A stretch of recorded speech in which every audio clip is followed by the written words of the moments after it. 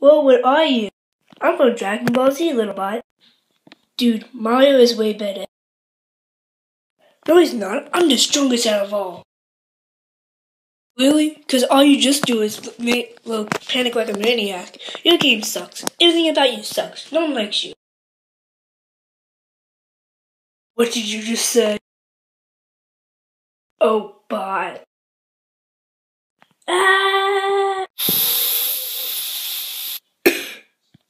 What are you looking at?